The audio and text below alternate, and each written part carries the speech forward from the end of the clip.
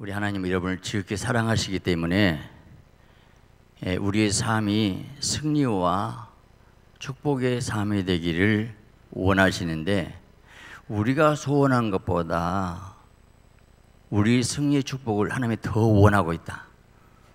그냥 믿으시기 바랍니다. 그런데 왜 하나님은 다 형통하게 그런 복을 주시지? 왜 어려운 사람도 있고 힘든 사람도 있을까? 하나님은요, 예, 진리의 하나님이기 때문에 그 진리의 말씀의 법도 안에서 우리를 돕고 역사하신다는 거예요. 여러분 하나님이 절대 주권자이신 것을 믿으십니까? 아, 모든 것을 하나님의 손에 있다면 우연은 없어요. 그러면 무슨 말이에요? 하나님이 정확하게 우리 삶 행동을 지금도 저울질 하신다는 거예요. 그래서 합격의 기준이 될 때 하나님 역사하시게 되는데 오늘 마음의 소원을 이루는 길 이 제목으로 말씀을 드립니다. 오늘 네 가지를 크게 말씀드린데 이 말씀을 잘 깨달으면 하나님 놀랍게 역사할 줄 믿습니다. 할렐루야. 첫째로 이 하나님께 원하는 삶이 본문을 통해서 네 가지를 말씀하고 있어요. 오늘 3절을 보면 원어 보면 이와 의뢰하라 선행하라 땅에 가라 성실을 식물로 삼을지어다 이렇게 나와 있습니다. 자, 우리가 여호와를 의뢰한다는 것은 뭘 의미할까? 아, 이건 여호와 안으로 들어가서 하나님과 온전한 연합 이걸 말합니다. 주님 품에 들어가라는 거예요. 그 다음에 선을 행하라. 순서적으로 의미가 있어요. 우리가 선을 인간을 할 수 없습니다. 여호와 품속에 들어가서 주님과 연합해서 살면 이제 선을 행할 능력이 나오게 되는 것이고 세 번째 땅에 거하라. 이 땅에 거하라는 것은 무슨 뜻이냐면 하나님께서 여러분 각자에게 주신 그 본분의 성실한 삶을 살라 이런 의미의 원어적으로 어, 성실은 진실과 정성이죠. 성실을 식물로 먹을 거리로 삼을지어다. 이게 무슨 말이냐면 우리가 매일 음식을 먹지요. 음식을 먹는 것처럼 성실한 마음을 품고 지속적으로 행하라는 말씀입니다. 여러분 야곱은 참으로 훌륭한 인생이었는데 그냥 된 것 같지만 물론 은혜가 있어서 되지만 그의 삶의 자세가 굉장히 성실한 삶이었어요. 외삼촌 집에서 20년 동안 머슴살이 한 동안에 그가 이렇게 고백합니다. 낮에는 더위를 무릅쓰고 밤에는 추위를 당하면서 눈붙일 겨를도 없이 지냈나이다. 이게 중요합니다. 요셉은 보디발의 집에 노예로 팔려갔어요. 여러분 그 당시 노예가 얼마나 태어난 거 알죠? 노예 시장에 가서 그 당시 노예는 예, 어느 기록에 보니까 옷을 할랑 벗겨요. 그래놓고 그 나이에 다 몸 검색하고 이거 만약에 짐승 똑같이 소 거령과 똑같아요. 그렇게 팔려간 그 요셉. 그런데 얼마나 착하고 성실하고 충성스럽게 일했던지 보디바는 그를 가정 총무로 삼고 자기 소유를 요셉에게 다 위임하였더라. 이게 중요합니다. 오늘 본문 4절에 여호와를 기뻐하라는 말씀은 여호와께서 주시는 고상한 기쁨을 충분하게 누리라는 이 말씀인데 그러면 소원을 이루어진다. 우리가 너희는 먼저 그의 나라와 그를 구하라. 그러면 모든 걸 너에게 다리라는 말씀과 일맥상통하고 있어요. 여기서요. 저는 본문 묵상하면서 아 우리 인간이 해야 될 일과 하나님이 할 일이 구분시켜 놨다는 거예요. 하나님은 소원을 이루시는데 우리 인간에게 뭘 원해요? 네 가지를 원했습니다. 첫째, 하나님 의뢰하라, 선행하고 자기 본분에 성실로 식물 삼고 여호와를 기뻐하라. 우리 인간에게 이거 원하고 그러면 이렇게 해주시겠다. 근데 그 이루는 과정이 어떻게 되냐면 5절에 너의 길을 여호와께 맡기라. 저를 의지하면 저가 이루시고 그랬어요. 여기서 저는 이걸 뭘 느꼈냐면 하나님 우리와 협동하기를 원하신다. 협동 작전을 이루신다는 거예요. 하나님께서 우리 일하실 때 반드시 뭘 통해 일하셔요? 우리의 믿음, 네 믿음대로 될지어다. 믿음이 뭐예요? 맡기 의지하는 것이죠. 그를 의지하면 저가 이루시고 의지하면 그분이 이루시게 되어 있는데 의지하지 않으면 하나님 일할 수 없다는 것이죠. 잠언 16장 3절 말합니다. 너희 행사를 여호와께 맡기라 그러면 너희 경영하는 것이 이루리라 그랬어요. 그럼 어떻게 이제 이루시고 응답하신가? 6절 말합니다. 너희 의를 빛같이 나타내시고 네 공의를 정오의 빛같이 하리로다. 빛 정오의 빛은 더 뜨거운 태양빛을 말하는데 내 인생의 삶이 빛된 삶, 영광스러운 삶을 주시겠다고 말하고 있어요. 근데 우리가 세상 살다 보면 너무 억울하고 분할 일이 많이 있잖아요. 너무 부지런히 이 세상을 살다 보면 너무 공고하고 암울한 세상을 살다 보면 너무 때로는 마음에 눌릴 때가 있어요. 하나님이 정말 살아계십니까? 하나님 계시나 왜 이런 일이 있어야 됩니까? 하고 우리가 반문하고 싶을 때가 있잖아요. 근데 하나님은 악인의 형통을 부러우지 말라는 거예요. 난 말씀으로 살았는데, 근데 우리는 분명히 알아야 됩니다. 하나님이 때가 되면 이루시는데 어떤 시험을 이기라는 거예요. 시험을 잘 이기면 복이 되는데요. 여러분 다윗처럼 시험하는 사람 있을까요? 사우랑이 삼천 군사로 죽이러 쫓아다니는 그 세월이 무려 13년이라는 그 기나긴 눈물과 고통의 아픔의 세월 그런데도 끝까지 하나님을 신뢰하면서 하나님을 의지하면서 최후의 다윗은 승리자가 되었고 위대한 왕으로 하나님이 세우신 하나님이 이곳에 함께 하시고 오늘 여러분을 세우신 그 하나님을 찬양하시 바랍니다. 할렐루야. 두 번째로 믿음은로 맡기고 의지하면 하나님께서 의를 빛같이 이루시는데 맡기고 의지하는 삶은 어떤 삶일까? 이게 우리 고민입니다. 우리가 맡기고 의지한다 하나님 품속에 들어가라 연합하라. 저도 이렇게 말은 하기 쉬워요. 근데 실제 우리 삶 가운데서 맡기고 의지하고 주님 일하시게끔 하는 것이 뚝딱 머리로 외워서 되는 것이 아니더라는 거예요. 근데 분명한 공식은 이겁니다. 한마디로 하나님의 말씀을 읽고 음미하면서 말씀을 통해서 인격적으로 예수님과 만나야 됩니다. 정말 주님 만나게 되면 주님의 사랑을 깨달아요 그 주님의 사랑 그분이 바로 머리가 되시기 때문에 머리로부터 예수님부터 영양 공급이 받게 되면 무엇입니까? 은혜가 오지요. 하나님의 생명이 흘러내리게 됩니다. 하나님의 생명이 위로와 평강과 희락으로 오게 됩니다. 그리하면 그때 저가 이루시고 주님이 일하신다는 거예요. 우리가 때로는 힘든 게 뭔가 내 기도대로, 내 계획대로, 내 방법대로 하기를 원합니다. 그런데 하나님이 그렇게 하십니까? 대부분 하나님의 방법대로, 하나님의 계획, 하나님의 때에 이루시더라 이것입니다. 한마디로 지내놓고 보니까 하나님의 차원 높은 생각, 더 높은 생각 차원으로 우리를 섭리하시고 인도하시고 있다는 것을 믿으시기 바랍니다. 사람들은 금방 보이는 실적, 업적을 좋아합니다. 그러나 하나님은 눈에 보이는 실제 업적보다 더 중요하게 한 것이 뭘까요? 무엇 더 중요하게 할까요? 뭘 보실까요? 우리의 내면의 변화를 원하고 있습니다. 하나님의 말씀에 의해서 우리 거룩한 자가 되기를 원하고 있는 것입니다. 우리 안에 죄성을 끌어버리고 육성을 깨뜨려 버리고 하나님의 성품으로 변화되기를 그렇게 원하고 원하고 있어요. 우리는 하나님의 사람 되기 원하고 있는 것입니다. 오늘 내 모든 삶의 기쁨이 하나님의 자신이 되기를 내 인생의 목적이 하나님 되기를 그렇게 원하고 계신 거예요. 우리가 하나님께로부터 오는 축복, 형통, 능력을 받으면 하나님 자신보다 선물의 마음을 빼앗겨 버릴 때가 있습니다. 아버지가 아이에게 맛있는 과자 봉지를 주니까 달콤한 과자 맛이 아버지보다 더 좋은 거예요. 선물신 아버지의 그 사랑, 그 사랑 그걸 깨닫기보다는 그 혀의 맛의 감각의 기쁨이 좋으니까 과자가 좋아서 아버지를 잃어본 적은 없습니까?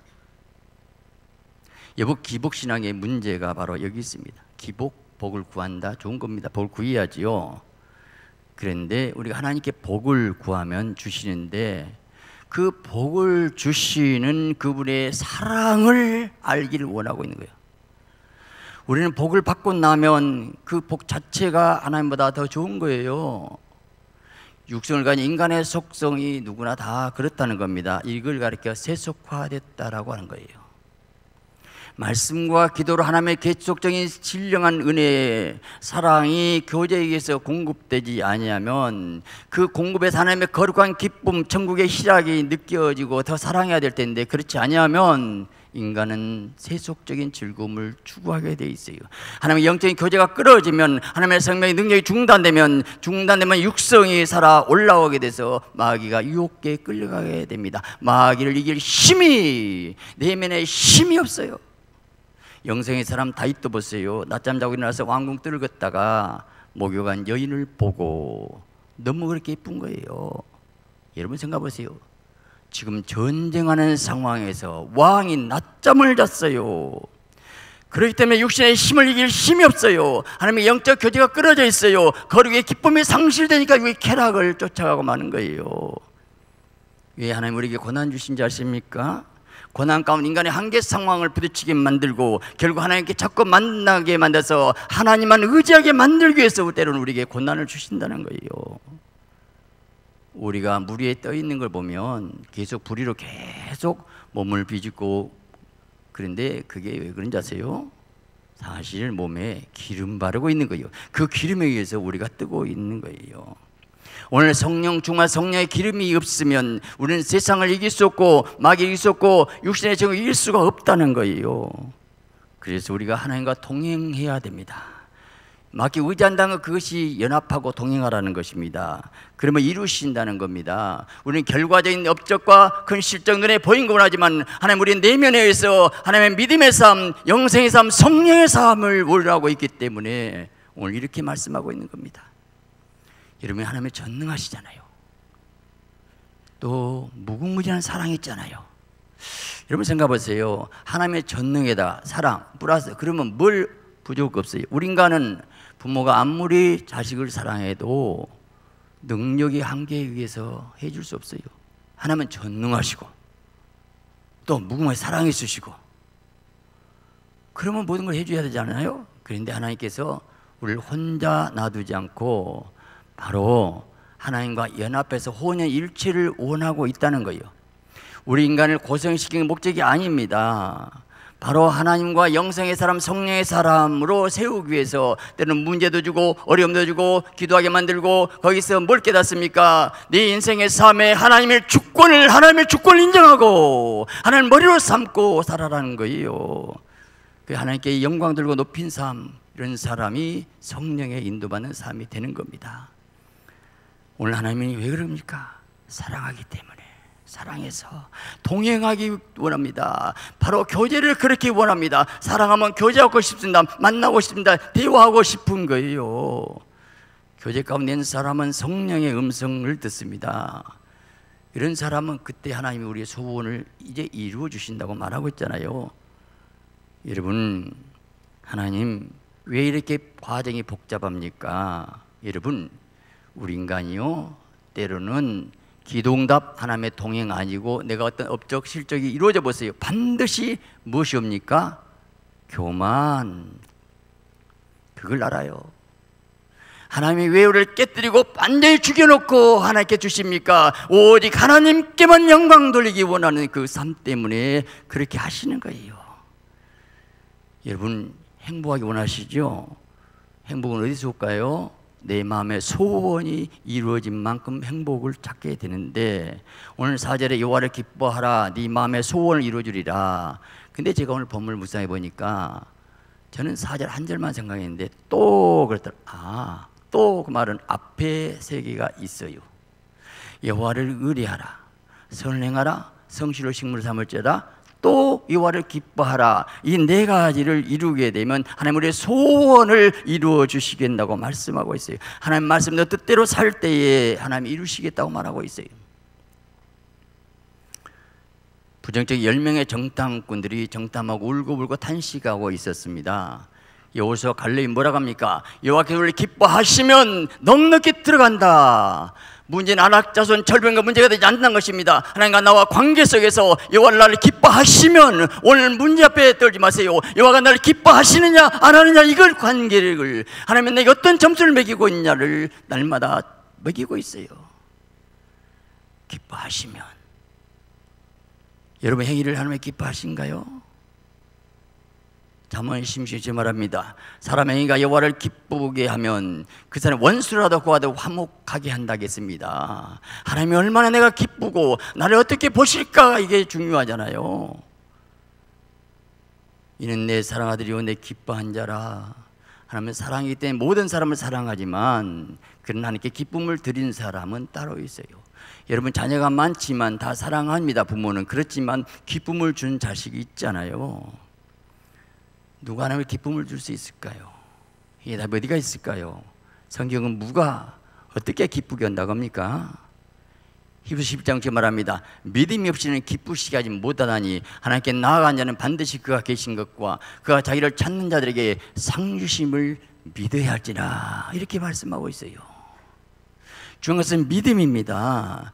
그리고 하나님께 나아가는 자는 여러분요 구약에서는 믿음이라는 단어가 별로 안 나오죠. 신약에서 믿음이라는 단어가 많이 나옵니다. 믿음과 순종은 비슷 같지만 속성상 달라요. 순종은 말씀대로 따라가면 돼요. 소극적입니다. 많은 믿음은 적극적이에요. 은혜의 보좌 앞에 담대히 나아가는 거요. 하나님께 나아가는 거요. 한눈 문득 자가 원하시면 깨끗할 수 있나이다. 그리고 자기가 왔어요. 믿음 하나님께 담대히 구하고 나아가는 거예요. 뭘 믿고요? 뭘 믿고 나갑니까? 주님이 십자가상에서 다 이뤘다. 성수와 전서 시장에 찢어서 새로운 산 길이 열려있기 때문에 담대 예수 이름으로 나아갈 수 있다 이것입니다. 믿고 구하라고 말하고 있어요. 그러면 상주시 믿어야 할지나 그 말은 응답을 믿으라고 말하고 있어요. 입으로 신하라는 거예요. 민서 아브라함을 99세의 아브라함 바꿨어요. 많은 민족의 조상 이렇게 입으로 시인하라는 거예요. 오늘 또 믿고 간 것은 받은 줄로 믿고 시인하는 여러분 되시기 바랍니다. 오늘 제가 지금 소원을 이루어야 되는 차원에서 지금 설명을 끌고 가고 있는데 소원이 이루어져야 되잖아요. 바란 소원이. 근데 믿음이 있어야 된다니까요. 믿음이 맡기고 의지한 것인데 그 믿음이 뭐냐? 믿음은 바라는 것들의 실상이요. 믿음이란 것은 바라는 목표가 있는 거예요. 자, 그 바라는 것이 소원인데 여러분 중요한 것은 소원 이루기 위해서는 한마디로 하나님의 소원과 내 소원과 일치시키세요. 하나님의 소원이 어디 있습니까? 하나님의 소원, 하나님의 약속의 말씀이 이 땅에 이루어진 것이 하나님의 소원이게 되는데 오늘 문제는 내 소원을 비전으로 할 때에 그 비전도 하나님의 말씀이 내 속에서 불탈 때 비전인데 하나님의 말씀이 하나님의 뜻과 내 속에 있는 말씀이 하나 될 때에 말씀을 통해서 하나가 될 때에 하나님의 계획이 하나님 원하는 소원이 말씀을 이루는데 그 말씀 붙잡고 기도할 때 그 비전 될 때에 그걸 하나님 이루시더라 이 말입니다. 우리가 아무리 기도해도 아무나 기도 그거 다 들어줍니까? 그럼 어떻게 하나님 하겠어요? 아니요. 뜻대로 구해야 돼요. 성령의 감동으로 하나님의 말씀에 의해서. 그래서 우리 세 번째 답이 나옵니다. 하나님의 뜻, 하나님의 말씀이 내게 비전이 되고 그 비전을 이루기 위해서 내가 기도할 때에 하나님은 이루십니다. 빌보 2장 10절 말합니다. 너희 안에 행하시는 하나님이시니 자기의 기쁘신 뜻을 위해서 너희로 소원을 두고 행하게 하시나니 하나님의 기쁘신 뜻을 어떻게 내요? 우리 마음에 소원 주십니다. 소원이 불타게 만듭니다. 여러분 기도에서 계속 소원이 나오면 하나님 뜻이고 그 소원이 아니면 기도가 안 나와요. 여러분 어떤 기도할 때 제일 기도가 잘 됩니까? 어떨 때 마음의 소원이 불탑니까? 여러분이 가장 많은 기도는 무슨 기도를 지금 하고 계십니까? 하나님께서 그 소원을 통해 일하신데 그 소원이 불탄 것이 무엇이냐고요. 여러분 생각이 어다면 그 이유는 어떤지 무슨 생각 먹고 있냐 그것이 그 사람이잖아요. 저는 10년 이상 100만 개 교회 10억의 영혼을 주시옵소서. 저는 기도 기도 몇 시간도 기도가 되어요. 왜요? 내가 불타기 때문에.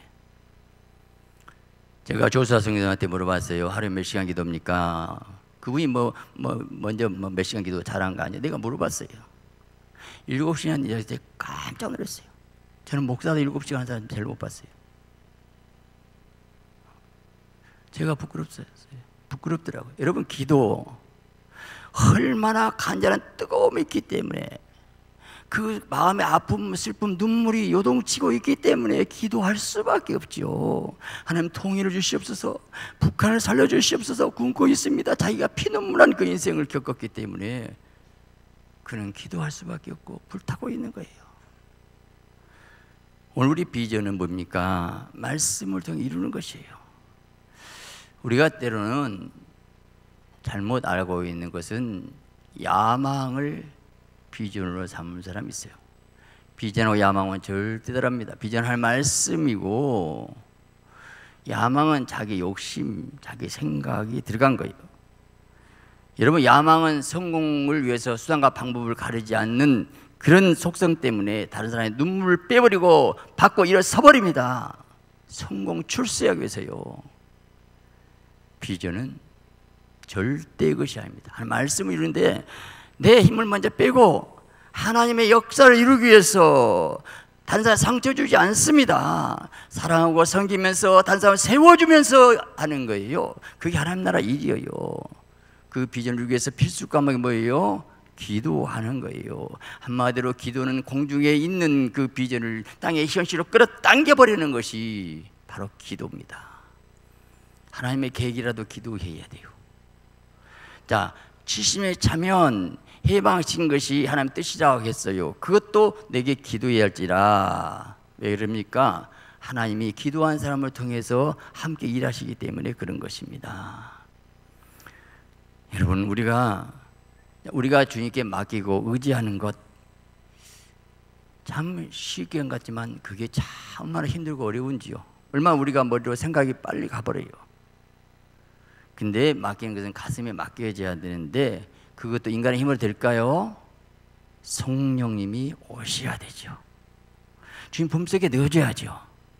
자, 우리가 잘은 못 박혀 죽었나니 옛사람이 죽고 내 안에 그리스도 사셔야 되는데 내 안에 그리스도 사신 거 성령이라고 해서는 내가 죽어져야 되는 것 그게 주님과 함께 의뢰하고 맡긴다는 것은 내 계획 내 생각이고 하나님께 맡겨버리고 하나님 하시옵소서 하나님 뜻대로 하옵소서 하고 내 모든 걸 내려놓는 것인데 그것이 내려놔진다는 것 그게 또 내 인간의 힘으로 안 되기 때문에 맡겨야지 하고 예수나 막그 맡겨야지 예수 그것까지 맡겨야 된다고요 내가 맡기지 않아요 하나님 하셔야 돼요.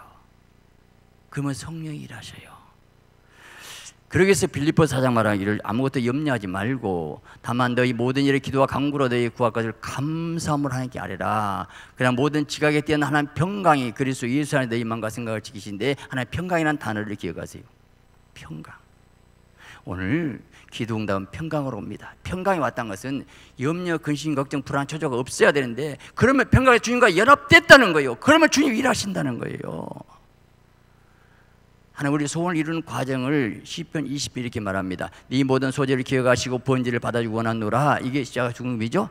그 다음에 네 마음의 소원을 허락하시고 순서를 알아야 돼요. 계획을 이루시길 원하노라.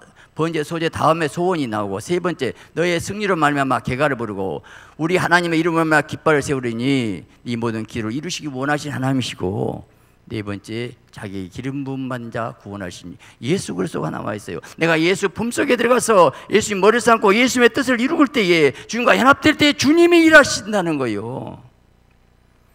예수님이 이 땅에 모신 목적이 어딜까요? 요한복음 6장 이렇게 말합니다. 내가 하늘에서 내려온 것은 내 뜻을 행함이 아니요 나를 보내신 이 뜻을 행하려 함이니라. 나를 보내신 뜻은 내게 주신 자 중에 내가 하나도 잃어버리지 않냐고 마지막 날에 다시 살린 것이니라. 우리에게 생명 주는 것. 내 살을 받아 먹으라. 내 피를 받아 마시라. 내 살을 먹자고 너희 피를 마시면 너희 속에 생명이 없니라. 예수님의 살과 피를 찢어 나눠주시기 위해서 오시면서. 인자가 영광을 받고 왔도다. 십자가 앞에 놓고 기뻐하셨고 영광이라고 말씀했어요. 여러분 왜 예수님이 십자가 놓고 그렇게 하셨을까? 사단의 권세에서 우리는 영원한 지옥에 우리를 우리를 구원시킨다는 하나님의 그 사랑 때문에 우리를 구원하는 그 하나님의 그 사랑의 뜨거운 열정에서 피를 흘리시면서 그 고통을 다 참으시게 된 거예요. 우리가 주의 일한다는 것 무슨 힘으로 할까요? 이 피의 사랑을 깨달은 사람, 이 피의 은혜가 내 가슴에 용솟음 친 사람, 이 피의 사랑이 온 사람만이 그 예수의 심장을 가진 사람만이 우리는 주님의 일꾼이 될 수가 있습니다. 바울은 진정으로 이런 삶에서 자기 자신이 헌신의 제물이 되었어요. 네 번째, 비전에 사로잡힌 사람. 중요한 것은 이제 우리가 헌신하면 부담 느낀데 아니에요. 사로잡히세요. 그 꿈에 사로잡히세요. 하나님을 사랑하기 때문에 삶을 주님께 드리는 것이 기쁨이요 행복이 됩니다. 주님 이걸 원하셔요. 바울이 이렇게 말하고 있어요. 빌립보 사장의 주 안에서 항상 기뻐라. 내가 다시 말해 기뻐하라. 옥중서시입니다. 옥 안에 있는 사람이 옥 밖에 있는 사람이 기뻐하라고 얘기했다니까요. 그 당시 옥은 어떤 옥입니까? 그 고통과 아픔과 그 모진 쓰라림 가운데서도 마음에 성령의 희열이 있었어요. 주님의 사랑이 있었어요. 그 가운데 기뻤어요. 골로 일장 말합니다. 이제 내가 늘 받는 괴로움을 기뻐하고 그리스도의 남은 고난을 성도 때 받는 괴로움을 기뻤고 내 육체 채운한다고 말씀하고 있잖아요 디모데후서 말입니다. 관제와 같이 내가 부음이 되고 이 관, 전제와 관제 피 흘린 제사입니다. 날 때날 가까웠도다. 죽음을 앞두고 내가 선한 싸움 싸고 나의 달길을 마치고 믿음을 지켰다는 아름다운 고백. 순교를 앞두고 행복한 고백이었어요. 그러면서 사도행전 2장 보니까 나의 달려길 주 예수께 받은 사명 은혜의 복음 중간일 마치려면 내 생명을 조금도 귀한 것에 되느라 생명 허비하면서 허비하면서 할 수 있는 가치 있는 일이 어디 있어요? 돈 버는 일이요? 명예권세요? 내 생명을 허비해서 내 생명을 아깝지 않게 일할 수 있는 것이 무엇이 당연히 있냐고요? 영원 생명 살리는 것보다 더 가치 있는 일이 없다는 거예요. 아깝지 않다는 거예요. 바울은 복음을 전하다가 피 터지로 맞으면서도 그는 기도하고 찬미해서 옥토가 움직였어요. 제가 이렇게 설교하면서도 난 정말 이 기쁨이 있을까? 여러분, 이 기쁨은 내가 결심해서 이루어질까요? 내 마음속에 희열이 와야 되는데 하나님의 은혜 받아야 됩니다. 뭘로 말씀을 통해서 회개할 때에 내 영혼이 보혈을 쓰질 때에 하나님의 거룩한 빛이 내 심령 속에 충만히 임하게 될 때에 하늘의 은혜 햇살이 내 영혼에 비추게 되면 내 마음의 솜털처럼 가볍게 되고 내 영혼의 성령의 생수가 넘치게 될 때 진정 행복과 기쁨을 누리게 되어요. 사도 바울 이래 최대의 신학자 성 어거스틴을 꼽는데요. 그분이 삼일째 교를 확립하신 분입니다. 그런데요, 하나님의 사랑을 제가 말하고 싶은 내용이 뭡니다. 이겁니다. 16살 때에 아프리카 여자에 반해가지고 아이까지 낳았습니다. 그리고 다른 젊은 여자에 반해서 먼저 그 여자를 또 보냈어요. 쫓아버렸어요. 그리고 그 여인과 사랑에 빠지다가 또 놔두고 또 다른 여의 사랑에 빠지면서 유격을 즐기면서 방탕한 생활을 했던 어거스틴. 하나님의 모니까 어머니 눈물의 기도가 응답이 왔습니다. 성 안토니와 만났었을 때에 정욕에 사로잡힌 자신의 비참한 모습 앞에 눈앞에 스크린처럼 비춰왔어요. 거기서 정원 뚫어 나가서 왜 나는 이 더러운 생활에서 깨끗이 끝내지 못할까 애통하며 부르짖으며 폭 같은 눈물이 쏟아지기 시작했어요. 갑자기 이웃집에서 아이들이 떠드는 소리가 났는데 펴서 읽어라. 그 말씀에 성경을 폈는데 정확하게 성령의 역사에서 로마서 13장 13절입니다. 낮에와 같이 단정하고 방탕과 술 취하지 말며 음란과 호색하지 말고 쟁투와 시기하지 말고 오직 주 예수 그리스도로 옷 입고 정 위에서 육신의 일을 도모하지 말라. 이 말씀 마음대로 그대로 꼽혔어요. 회개의 눈물로 통곡하기 시작했어요. 그 죄악의 무거운 짐이 벗겨지고 더러운 우두기가 다 벗겨지고 마음에 하늘의 빛이 임하게 됐어요. 하늘의 평강과 기쁨이 속삭게 됐어요. 그 마음의 폭풍은 지나가게 되고 은밀한 정작과 평화가 찾아왔습니다. 오랜 방황은 끝나게 되고 기독교의 새로운 역사를 쓰게 된 인물이 어거스트입니다. 여러분 중요한 것은 은혜 받아야 됩니다. 만나야 됩니다. 보혈로 만나서고 말씀에서 여러분 영혼을 깨끗하게 하려면 절대 시열이 올 수가 없어요. 에스라가 이스라엘 백성을 회개시키면서 말씀을 할 때에 저들이 막 울었어요. 통곡했어요. 근데 나중에 보니까 너희는 살찐 것을 먹고 단 것을 입이치 못한 자에게 나눠주라. 오늘 우리의 성이 근심하지 말라. 여호와를 기뻐하는 것이 너희의 힘이니라. 오늘 여호와를 기뻐하는 것이 우리의 힘을 준다고 말하고 있어요. 우리가 보혈 찬송 부르면서 외통하고 회개도 중요하지만 날마다 정죄 의식에서 보혈 찬송만 부르는 것이 아니고 이제 하나님의 자녀로서 거룩한 기쁨이 있어야 돼요. 그 기쁘고 행복해야 근심, 연려, 걱정은 우리 마음을 좀먹어 버리지만 하늘의 기쁨이 오면 샘솟듯 믿음이 생기게 되고 감사가 나오고 기쁨과 행복에 의해서 일을 할 수가 있어요. 요셉이 국무총리가 됐습니다. 형들이 곡식을 사러 와서 만난 순간이 왔어요. 자, 요셉이 방성되고 계세요. 허! 울었어요. 그 통곡하면서 우는 그 요셉의 눈물, 총리가 돼서 어떤 울음이었을까요? 어떤 울음이었을까요? 주마다처럼 하나님이 인도하신 그것이 싹 스쳐갑니다. 형들이 시기 질투에 의해서 구덩이 쳐와갖고 죽이려다가 팔려갖고 노예 생활하면서 그 눈물, 고통, 세월이 생각이 났죠. 그래도 분명히 해와 달에 절했고 열한배에 절했고 하나님이 주신 꿈을 붙잡았고 소원을 불타고 있었기 때문에 그래서 말씀 지키다가 감옥까지 들어갔어요. 그리고 지난 세월 가만히 생각하니까 하나님의 인도였구나, 섭리였구나. 여러분, 자, 우리가 눈물도 그 눈물 속에 언제 눈물이 흘릴까? 회개의 눈물도 하나님의 사랑을 느낄 때 눈물이고요. 그 사랑이 와닿을 때, 아, 나 같은 죄인 왜 살렸을까? 그때 죽여버리지 왜 나를 살렸을까 하는 그 회개의 동국의 눈물, 그 안에 감사의 눈물, 그리고 하나님의 새롭게 역사하신 가운데 기쁨의 눈물. 똑같은 눈물 같아도 그 눈물의 그 성분은 성질은 다르더라는 거예요. 오늘 중요한 것은 하나님 만나야 됩니다. 만났을 때 회개의 눈물, 사랑의 눈물, 기쁨의 눈물이 흘리게 되는데 너무 감사했을 거예요.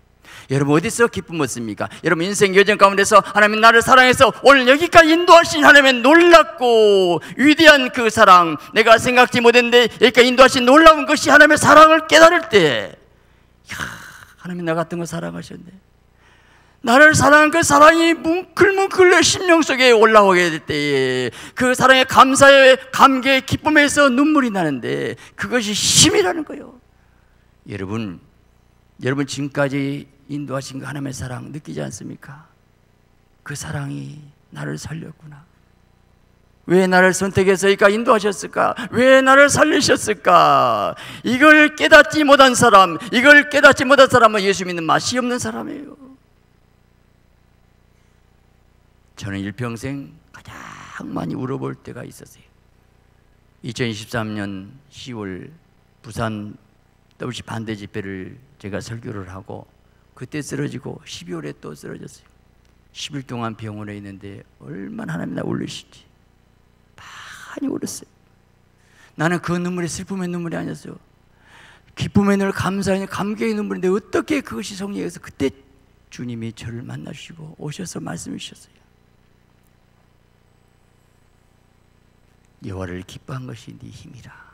여러분 어거스틴 얘기가 제 얘기가 아니고 여러분 똑같이 은혜를 사모하시고 내게 은혜를 깨달으시고 감사하시고 감격한 가운데서 내게 현재의 여건 지금 모든 것이 하나님의 은혜입니다 하고 내 잘해서가 아니고 하나님 역사하시면서 오늘 똑같이 인도하신 그 하나님의 사랑을 깨달으시고 여러분 그 사랑을 날마다 감사 감격의 기쁨이 여러분의 심령 속에 넘치시기를 바랍니다. 바울은 이 기쁨이 있었기 때문에 나와 같이 모든 일에 모든 사람을 기쁘게 해서 나의 울지 말고 저희 울어서 저희로 구원 얻게 하라. 또 기쁨을 돕는 자가 이 기쁨 얘기가 많이 나와요. 기쁨.